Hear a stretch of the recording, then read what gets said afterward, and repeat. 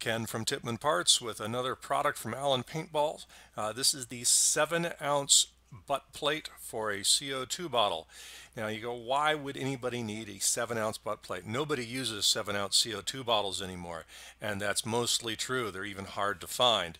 However, this particular butt plate will also fit the 13 cubic inch compressed air bottle. This is the smallest compressed air bottle you can get and you can put this right on the back of it. So if you have a small tactical uh, uh, paintball gun, maybe a mag fed, maybe you're trying to simulate an AR pistol with this coming off the back, well, you can put this little uh, butt end on it right there. Let me show you all of this. You can see it's got the nice uh, rough edge there to hold nicely against your shoulder kind of see the curve of it there.